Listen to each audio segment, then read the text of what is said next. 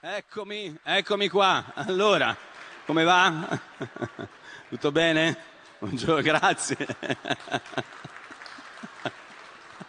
Allora, oggi parliamo di intelligenza artificiale. Eh? Intelligenza artificiale ne abbiamo parlato fino adesso. Io ho seguito tutti i vari speech, perlomeno nelle ultime ore, e ognuno ha portato la propria visione. Secondo me sono tutte davvero molto interessanti, avete fatto bene a, ad ascoltarli tutti, anche perché solo così ci si può fare un'opinione, no? si può avere poi un'idea, anche perché siamo di fronte ad un cambiamento straordinario, vi hanno raccontato di cosa si tratta, nessuno, me compreso ovviamente, ha la sfera di cristallo per sapere cosa sta succedendo. L'unica cosa uh, certa è che ci facciamo tutti delle domande. E le domande più frequenti sono queste. L'intelligenza artificiale può mettere in pericolo l'umanità? E l'altra domanda è questa, è ma i robot e l'intelligenza artificiale, che è un po' al centro no, di questa giornata, porteranno via il lavoro a tutti? Ovviamente le domande sono quelle che sono no, tra le più frequenti che anch'io raccolgo, no? tra quelle che mi arrivano eh, ogni giorno, tra segnalazioni, truffe e grandi dubbi sul futuro. Un'altra domanda è sull'etica, no? perché chiaramente uno dei grandi problemi è ma la digicrazia, cioè ovvero un, una società guidata dal digitale, ce l'ha l'etica? E soprattutto quale etica? L'intelligenza artificiale mette in pericolo la democrazia? Questa è un'altra domandona. E alla fine di tutto c'è forse quella più importante, cioè come tenere l'uomo al centro. E allora, per rispondere a queste domande, dobbiamo tener conto di una cosa molto importante che avete colto durante questa giornata, che è un mondo complesso. È un mondo molto complesso. È un mondo difficile da capire sino in fondo, perché dietro ci sono talmente tante tecnologie che davvero non si sa da che parte iniziare, no? sono tante, c'è, c'è chi parla di algoritmi, c'è chi parla di reti neurali, c'è chi in qualche modo tiene conto anche di quello che c'era stato fino adesso, cioè la complessità del digitale, che già lo era, internet, il web, i social network e tutto quello che c'è dietro. Ma il vero grande pericolo dell'intelligenza artificiale di cui tenere conto, secondo me, è uno solo. Ed è questo. Cioè, il pericolo più grande è chi la sottovaluta, da ogni punto di vista. Dal punto di vista delle opportunità e dal punto di vista delle, dei suoi pericoli e criticità. Però facciamo una pausa, un secondo. Capiamo insieme che cos'è l'intelligenza artificiale? Perché spesso si parla di intelligenza artificiale, ma poi alla fine che cos'è? No? E per capire che cos'è l'intelligenza artificiale, forse bisogna prima chiederci che cos'è l'intelligenza. Allora, l'intelligenza è un insieme strano di fattori di ogni tipo, no? Ci sono dentro discorsi, materia, biologia, cultura, c'è un po' di tutto dentro, parole, segni, cooperazione sociale, c'è dentro la comunità, la tradizione, il nostro patrimonio. Insomma, se ci pensate, i nostri neuroni non hanno niente a che fare con quelli computazionali, con i bit. No, proprio non si parlano, sono due mondi profondamente diversi. E allora perché si parla invece di intelligenza artificiale? Ma innanzitutto devo dirvi, io ho scritto un libro, si chiama Cyberumanesimo, poi vi dico due parole in più su questo perché già dal titolo si capisce che l'uomo deve essere al centro, ma la prima cosa è che secondo me non è, oggi non, si, non, non siamo di fronte a un'intelligenza artificiale, siamo di fronte alla comunicazione artificiale. La comunicazione artificiale è completamente un'altra cosa, cioè si tratta, avete già sentito parlare di, di questi termini, no? LLM, LMM, Large Multimedia Models, Large Language Model, cioè linguaggi no? che raccolgono un mucchio di informazioni, le mettono insieme generando qualcosa di simile all'intelligenza, ma è comunicazione. Dietro di intelligenza non ce n'è.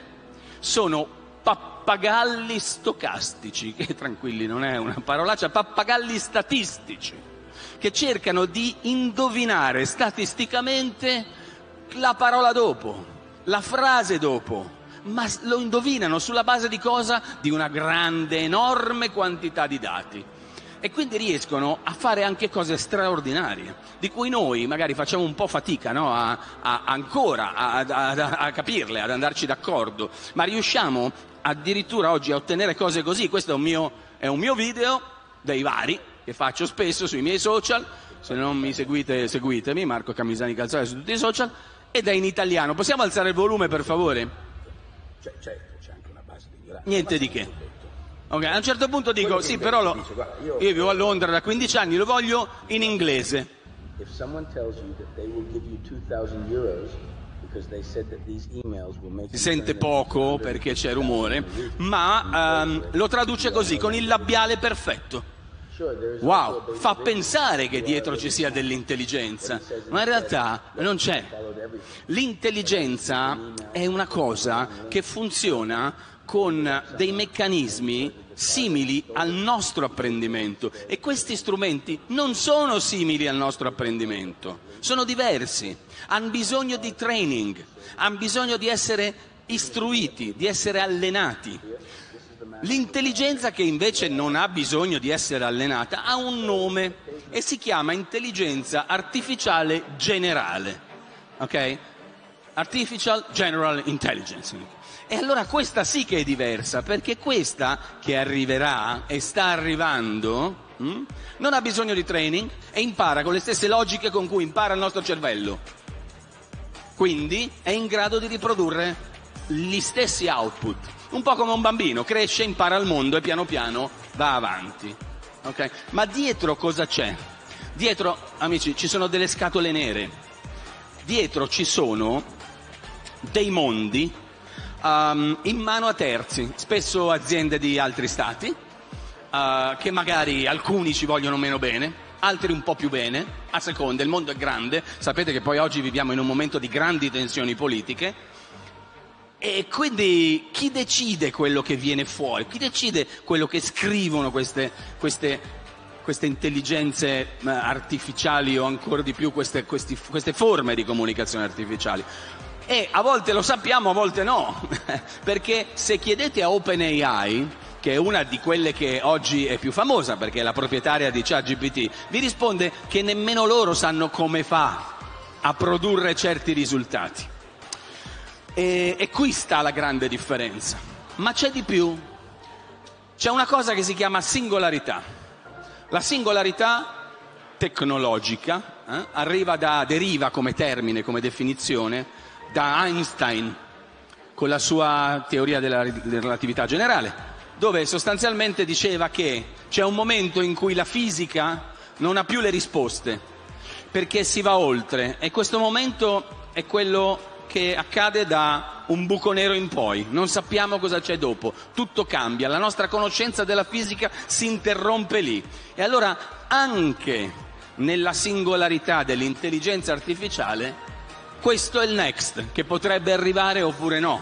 Cioè, potrebbe succedere che si generi un'intelligenza artificiale in grado di apprendere non come noi, non con le stesse logiche, ma con logiche che non abbiamo mai visto prima e di cui non siamo padroni. Okay?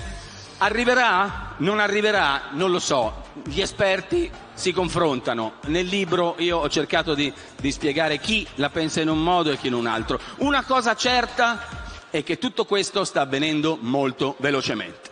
Non possiamo non tenerne conto. Non a caso il tema principale del, di questo festival quest'anno è questo, no? E, e, e, credo che i vari ospiti vi, da, vi abbiano dato tutti i punti di vista, soprattutto perché non tocca solo il mondo del lavoro, di cui adesso vi parlerò, ma tocca tutto e tutti. Ci tocca da ogni punto di vista, tocca le piccole e medie imprese, tocca le piccole imprese, tocca le grandi, le grandi ovviamente sono più preparate, ma le piccole un pochino meno, già facevano fatica a star dietro al digitale, che fino ad oggi ci ha rincorso, ha modificato il modello di business di molte aziende, ha modificato anche il modo di lavorare. Chi oggi può pensare di lavorare senza conoscere parte del digitale? almeno parte, è evidente. e con l'intelligenza artificiale ancora di più. E allora oggi, già oggi, tocca settori come la sanità, sono più di 50 anni che l'intelligenza artificiale nella sanità, nella diagnosi, nella, nella diagnosi per immagini eh, esiste, non è una roba nuova. Immaginate ora che salto sta facendo, vengono scoperte nuove cure grazie all'intelligenza artificiale, no? eh, si possono aiuta l'assistenza sanitaria, un mucchio di cose. Ma un altro aspetto straordinario, prima di parlare dei, delle, dei, dei pericoli o dei rischi, è anche come, ci, come renderà tutto più inclusivo. Mm? Pensate che eh, oggi esistono strumenti che pensano. Allora, guardate questo piccolo dispositivo no? che non è automatico, cioè non fa sempre lo stesso verso, ma riconosce eh, la faccia, il volto dell'utente che va bene no? per, per, persone con disabilità, con, eh, no? che, che, che, non riescono a nutrirsi, a mangiare da sole, e questo chiaramente solo a guardarlo fa venire il sorriso, no? solo a guardarlo fa pensare alla positività e a cosa sta portando, soprattutto perché non parliamo più di stranezze da laboratorio, ma di cose che sono già disponibili sul mercato. E come sappiamo più ne venderanno e meno costeranno. E quindi con 300 euro presto si potranno avere cose di questo tipo, così come sono già disponibili protesi che consentono grazie all'intelligenza artificiale di arrivare a questo livello di, di precisione, sino quasi a mondi molto molto distopici, eh? come per esempio Neuralink di quel matterello di Elon Musk che ha detto aspetta investo anche su questo, cioè interfacce digitale cervello mosse dall'intelligenza artificiale. Non è futuro, è presente, questa roba la fa già, c'è qui dentro chi dirà wow e chi dirà oh my gosh, come dicono gli inglesi, oddio che paura, e secondo me avete ragione tutti e due ma non per fare democratico, perché è proprio vero. No? E, e, e questo signore qua è stato il primo ad avere veramente l'impianto e riesce, il mouse che vedete muoversi, lo muove con il pensiero. Ok? Cioè lui pe- si, m- muove gli occhi, pensa di cliccare e lui clicca. È un mix tra um, eye tracking e, um, e clicking e pensiero. E tra un po' le prime sperimentazioni sugli animali, purtroppo, hanno portato delle, ad ottenere dei risultati incredibili. Cioè, il, non sono un medico e non un neurologo, però per semplificare, c'è un momento in cui in alcune forme di paralisi il cervello non riesce a comunicare con la parte dei neuroni, cioè dei neuroni della, della, no, ho detto che non sono un medico, dove sono esperto si sente la differenza, con la parte no, del, del, del, come si dicono, come si chiamano, i nervi, nervi, grazie, no, eh? Chi, chi, chi, offre di più? No, grazie. No, no, quindi con i vari nervi sotto. Allora immaginate questo che trasmette, questo che riceve, elabora i segnali e fa camminare chi non cammina. Tanta roba. E poi cos'è che sta arrivando? Loro. Bello? Brutto? Questi robot eh, che faranno parte della nostra vita come oggi fanno parte della nostra vita gli smartphone quando li vediamo fare queste attività, queste sono fake, sono finte, questo video che vedete non è, non è vero, uh, ma ci siamo molto vicini, okay, perché sarebbe stato complicato riuscire a fare un video di questo tipo, ma non, siamo, non siamo molto lontani, capite che le cose cambieranno. E ovviamente spero, facendovi vedere tutto questo, di aver suscitato in voi un mucchio di domande, un mucchio di come dire, di, no, di alert, come avete presente nei telefoni o nei computer quando fa blum, blum, blum, pericolo, virus, aiuto, problemi. Bello, bello, ma problemi. Uh, e in effetti gli aspetti positivi però è, è indubbio, sono, sono tanti. Sono tanti, chiaramente non sono accessibili a tutti. E questo è un altro problemone, perché evidentemente in un mondo in cui quelle sono le opportunità, vedere che c'è una parte del mondo o anche una parte del nostro paese non connessa, ah, dispiace, no? Oppure che non può accedere a certe tecnologie. Così come un altro problemino, giusto per incominciare a entrare nel tema delle potenziali criticità, um, è il tema energetico. Sono, sono tecnologie energivore, succhiano tanta energia, con quello che significa, perché ancora nel pianeta non abbiamo imparato a produrla in modo sostenibile, perlomeno sappiamo come si fa, ma non come farlo fino in fondo. E, e quindi questo è uno dei primi, dei primi temi, no? dei, primi, dei, primi, problemi. E poi arriva quello al centro, l'elefante in questa, in questa, su questo palco, lo vedete? È qui ed è questo, è il lavoro. No? Allora io qualche idea ce l'ho però. Eh? Perché dirvi che saremo sostituiti dai robot è, è facile, bisogna però avere qualche idea nel senso che ognuno di noi ce ne ha una e io volevo sottoporvi la mia. Allora, sicuramente i robot saranno economici rispetto a un parcheggiatore. Eh, pagare quel robot lì costerà meno di un parcheggiatore all'anno.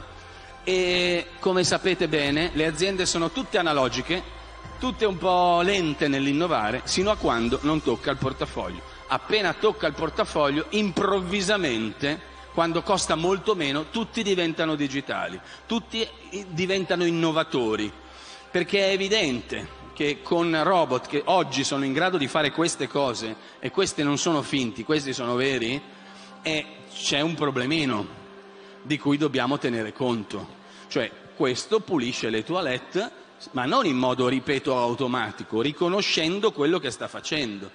E allora questo è un robot casalingo che in realtà quello che vedete non è, il, non è, il, vero robot, è la fase di addestramento, cioè gli stanno insegnando a svuotare la lavatrice, a svuotare, a riempire la, la lavatrice, scusate, la lavastoviglie prima, a fare delle cose in modo che lui, anche se cambia la lavatrice e cambia la lavastoviglie, sarà perfettamente in grado di farlo. Wow! Wow da una parte, oh Dio dall'altra. E, e nell'industria ci sono già, eh? Nell'industria lo sapete che ci sono già. Sono robot intelligenti. Prima erano robot, adesso sono robot intelligenti, in grado di capire cosa fare. E i big, che oggi ci vendono gli smartphone, che oggi ci vendono i software, stanno lavorando a questo. E questo ce lo vogliono mettere in casa. Bene, allora, quindi il, i robot e l'intelligenza artificiale ci sostituiranno o no?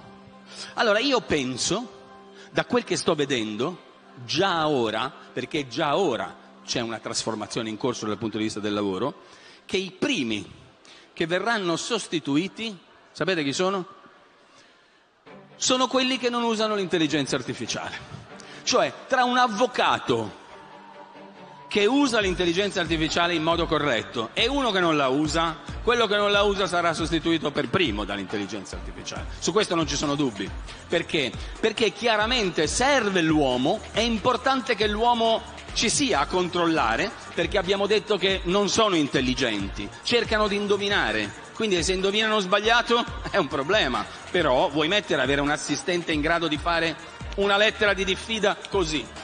Quindi l'avvocato che fa la lettera di diffida utilizzando l'intelligenza artificiale e utilizzando la sua competenza per verificare che sia giusta, sarà più potente, più performante, sarà aumentato nel modo giusto, perché l'uomo ha aumentato il futuro, anzi noi vogliamo che sia l'uomo aumentato il futuro, perché vedete le aziende che producono tutto questo non ce l'hanno questa etica, ma non perché sono cattivi, perché non ce l'hanno nella loro mission.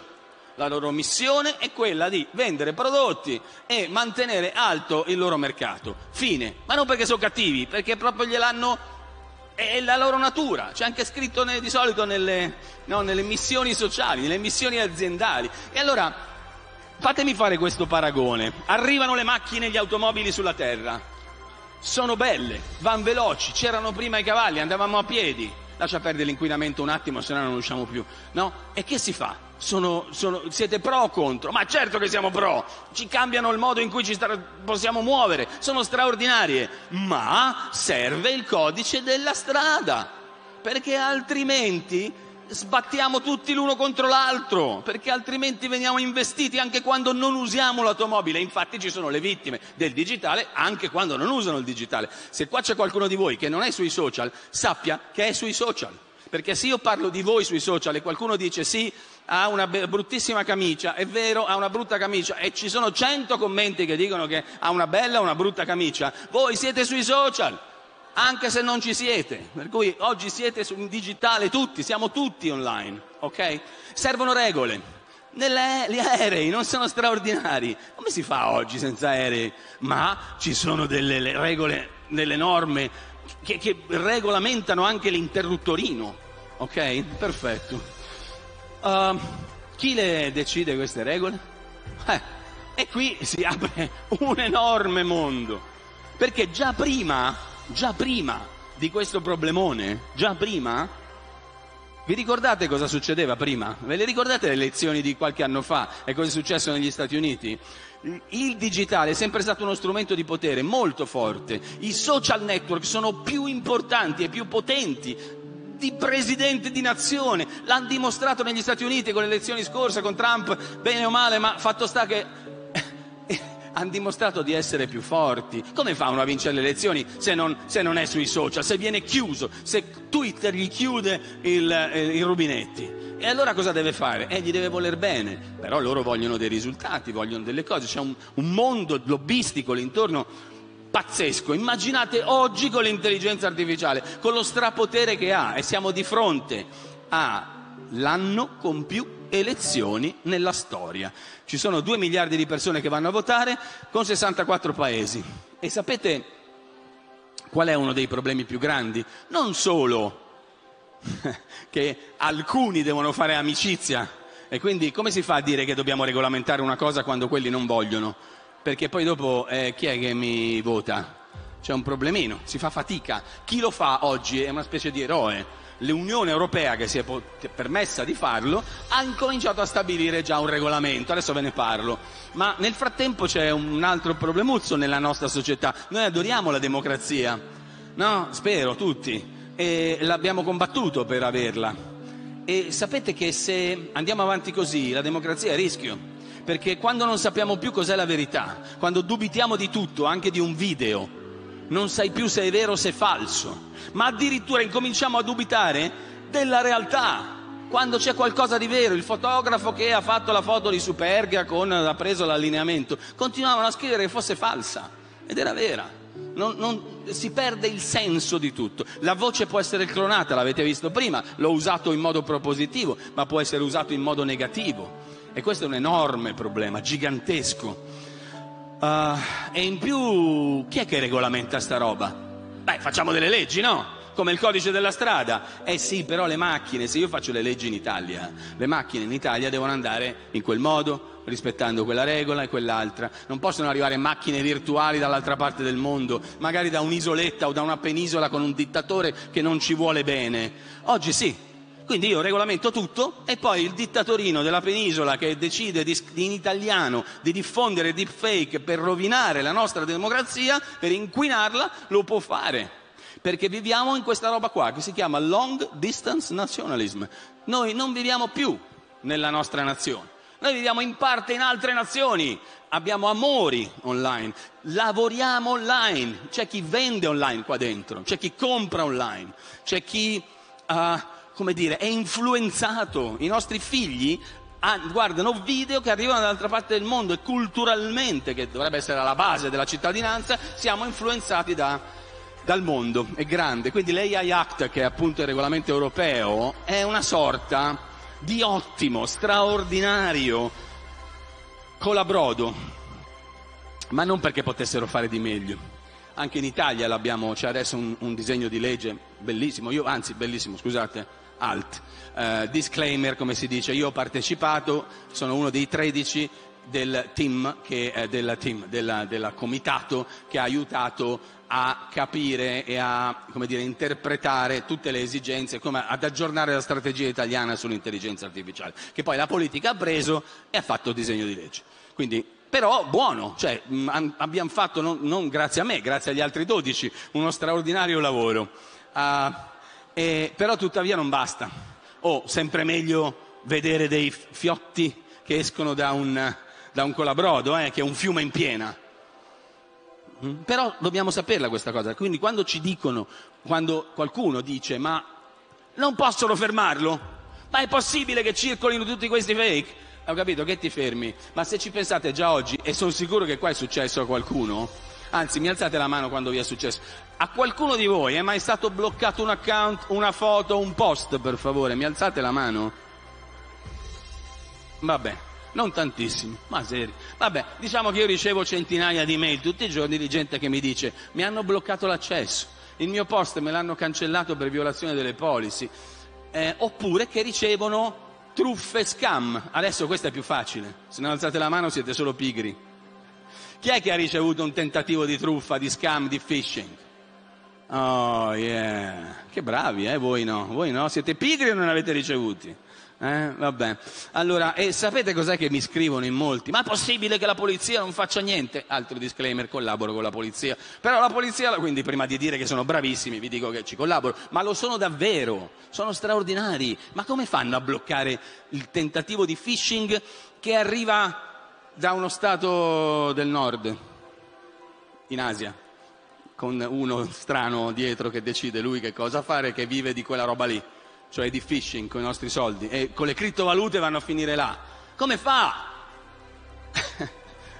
no? E poi fosse solo quello il problema, la privacy, mamma mia, ma fosse anche solo la privacy, non vi sto a tediare con la privacy. Avete visto prima Neuralink? Raccoglie dati e ci servono questi dati per far funzionare tutto, bellissimo. Ma la privacy del cervello? No, dico perché visto che i dati del mio pensiero vanno a finire da qualche parte, eh, ho capito, ma eh, scusate, dove li mettono? Li si possono rubare? Sì, ogni giorno rubano una marea di dati. Recentemente avrete letto sui giornali fughe di dati anche dei, dei, dei nostri, di quelli sanitari, di quelli sensibili. Figurati se non ruberanno i dati del nostro cervello. E che cosa ne fanno? E allora serve qualcosa che si chiama consapevolezza. Tu dici che cosa possiamo fare? Allora io vi posso dire, a livello europeo, ma forse anche internazionale, sicuramente anche italiano, a differenza di altre rivoluzioni che non hanno capito, oggi l'hanno capito tutti. Uh, avete sentito oggi, ogni due secondi si diceva intelligenza artificiale, a me non dava fastidio, va bene, parliamone il più possibile, cerchiamo di capire che cosa sta succedendo perché dobbiamo capirlo tutti. Io nel mio piccolo cerco di farlo in tutti i modi possibili, no? nelle istituzioni dove ho modo di farlo, ma fino ad arrivare alla massa grazie a un programma che mi permette di arrivare a milioni di persone. Eh, perché è un programma di intrattenimento e quindi grazie a quello si arriva a tutti e lì riesce a raggiungere chi distrattamente mentre mangia e si fa una risata a, riceve anche queste informazioni. Ma perché se non c'è la nostra consapevolezza, chi è che ce la mette dentro? Chi è che infila il file dell'etica in, questo, in, questo, in, questa trasformazione? Nessuno, ma nessuno, anche perché l'etica come fai a normarla? Poi quale etica? Eh? Quale etica? Eh, c'è il um, ehm, MIT, Massachusetts Institute of Technology, che alcuni di voi conoscono, che qualche anno fa, non adesso con l'intelligenza artificiale, ha detto facciamo una cosa, mettiamo online un sito che si chiama Moral Machine per capire cos'è l'etica. E hanno scoperto qualcosa di incredibile, cioè che in realtà alcuni sanno, ma loro sono entrati proprio nel dettaglio. Cioè in questo sito hanno messo una serie di casi possibili. Se andate adesso e cercate Moral Machine su Google, lo trovate, divertitevi, fatelo, anche perché contribuite eh, scientificamente a, a, una ricerca importantissima. Cioè, in sostanza, la Moral Machine dice, la Moral Machine, aspetta, dov'è che è la Moral Machine? Perché qua, eh, eccolo qua, la Moral Machine fa degli esempi come questo. Cioè dice, allora, c'è una macchina, e questo è il più semplice, eh, che si guida da sola, che è stata programmata per fare le curve, se vede una persona si deve fermare, se vede un incidente possibile lo deve evitare, ma quando si trova di fronte a questa scelta, cioè va a sbattere contro l'albero, cioè il software gli dice guarda, adesso tu hai di fronte queste tre possibilità, vai a sbattere contro l'albero e muore il, il passeggero, uh, in, uccidi la signora anziana o uccidi il bambino neonato. Chi uccidi? Ognuno di voi ha una risposta, forse. Fatto sta che il mondo non ce l'ha, perché hanno scoperto che, è cosa che si sa, ma dico i risultati lo hanno confermato, che ad esempio in Asia si tende a salvare la signora più anziana, in Occidente si intende a salvare il bambino. E quindi quale etica?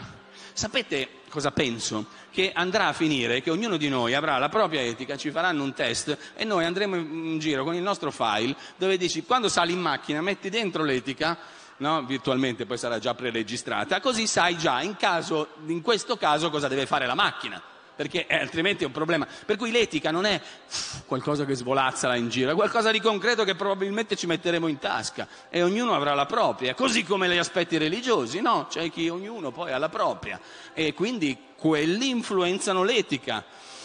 E poi fosse solo questo il punto, perché dentro quel minestrone di dati c'è anche l'opera di ingegno di noi umani. Dobbiamo mettere l'umano al centro e poi brum. Se voi dite mi fai un un cartone animato che abbia un topolino con delle orecchie, viene fuori Mickey Mouse, cioè non è che viene fuori un'altra cosa. E, e, la sicurezza, io collaboro con l'Agenzia per la Cyber Security Nazionale e il problema della sicurezza nell'intelligenza artificiale è uno dei più grandi problemi che ci siano oggi. Perché? Perché voi sapete già no, che nel mondo della sicurezza informatica ci sono guerre in corso costanti e quelle che non vedete sono quelle più frequenti. Cioè tutte le volte che non leggete sul giornale ci hanno attaccato, ci hanno portato via, ci hanno, vuol dire che c'è qualcun altro che ci ha difeso, perché gli attacchi sono costanti. Non si vedono come quelli delle bombe, fortunatamente, però sono lì e cercano tutti i giorni di spegnere le nostre centrali elettriche, di spegnere eh, nostre, gli acquedotti, di inquinarli, di spegnere ospedali, di spegnere infrastrutture critiche e c'è chi prova a difenderci e di solito ci riesce abbastanza bene. Per esempio il perimetro nazionale dell'Agenzia per la Cyber Security. Ma ognuno di noi è a rischio perché l'intelligenza artificiale ha aumentato esponenzialmente le capacità di attacco di questi sistemi. E di là c'è un'altra, come tutte le cose, c'è no, chi si difende e chi attacca, eh, la, bisogna alimentare la capacità di difesa utilizzando gli stessi strumenti. Io dico sempre che, questo piace un po' anche a, dire, a quelli che lavorano nel settore, che il, cioè, voglio dire, ai vari hackers del mondo digitale, compresi quelli, quelli, che lavorano nella security dalla parte dei buoni, perché l'hacker non è solo cattivo, l'hacker è un'attitudine, è il criminale informatico il cattivo, che è un'altra cosa, um, che il più grande... Um, il più grande rischio, la parte più debole di un sistema informatico è tra la tastiera e la sedia. Siamo noi.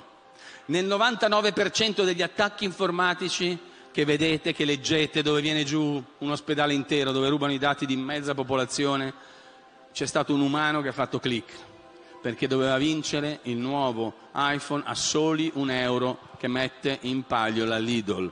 E non è vero. Come sapete, io di questi purtroppo ne parlo tutti i giorni, non sono stupidi quelli che ci cascano, ehm, sono poco informati. E allora bisogna informarli, il nostro lavoro, siamo qua apposta. Quindi cosa significa mettere l'uomo al centro in tutto questo? Cioè, che cosa vuol dire? Vuol dire che ogni cosa che è progettata, che è disegnata in questo mondo digitale dell'intelligenza artificiale deve, vogliamo, pretendiamo che tenga conto prima di tutto dell'uomo. Nel settore si dice by design, cioè lo progetto già così, non ce l'attacco dopo, lo progetto già così. Come si fa? Beh, fino a quando siamo in democrazia non ce la tolgono perché appunto arrivano a distruggerla con informazioni false. Beh, possiamo scegliere, no? C'è chi ti dice votami, metto l'uomo al centro nell'intelligenza artificiale, ha fatto vedere, ha fatto, eh, va bene, c'è chi dice io invece ritengo che non si debba mh, più alimentare o finanziare questo mondo, che sono poi eh, no, quelli come dire, contro le tecnologie in generale. La, eh, purtroppo le invenzioni, amici, non si possono disinventare, non c'è niente da fare. Non si può tornare indietro, non si, diven- non si, disinventano. E allora l'unica strada è la collaborazione uomo-macchina. Fine. È davanti, è lì.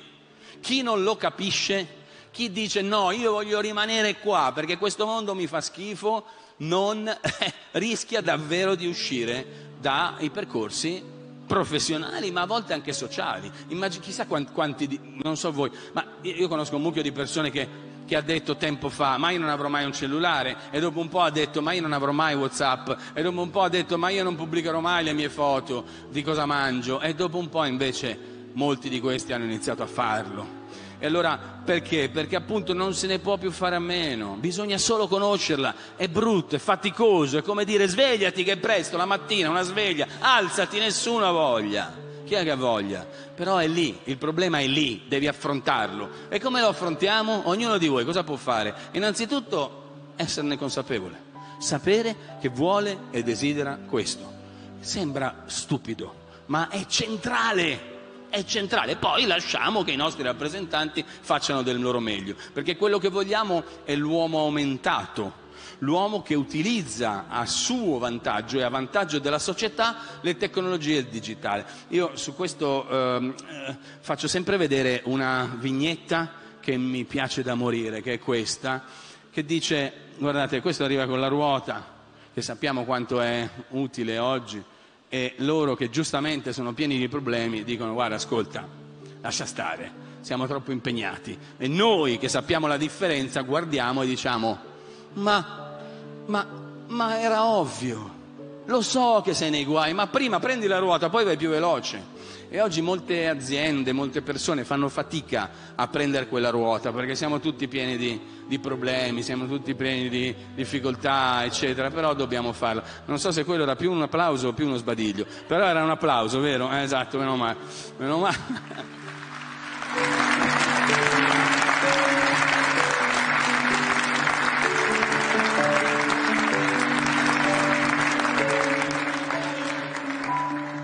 Ho scritto un libro, non si diventa ricchi con questi libri, si diventa ricchi con i romanzi al massimo quando sei fortunato, però qui dentro ci ho messo, edito sole 24 ore, molto di questo, ho cercato di approfondire, un libro che possono leggere tutti. Questa era la parte, come dire, uh, che um, forse più, non tanto il libro dico, ma il cyberumanesimo inteso come filosofia è forse quella che io ritengo si debba adottare per affrontare e arrivare ad un futuro nel modo corretto.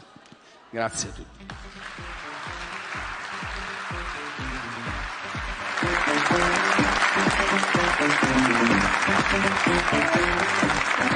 Grazie, grazie a Marco Camisani Calzolari.